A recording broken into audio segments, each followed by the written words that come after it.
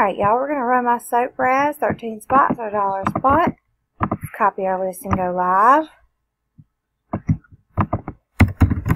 At 1203.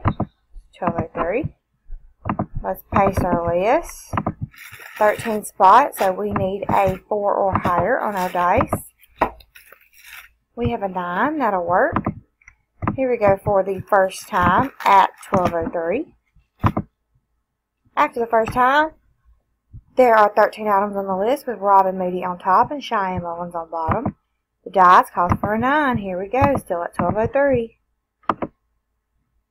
2, 3, 4, 5, 6, 7, 8. After the 8th time, there are 13 items on the list with Tanya on top, Tanya on bottom as well. We have randomized 8 times. The dice, a 5 and a 4, call for a 9. Here we go for the last time at 1204. Good luck, y'all. Alright, after the last time, spot number 6, Robin Moody, you're the winner. Congratulations. There were 13 items on the list. We randomized 9 times. The dice did call for a 9. We are done at 1204. 1204.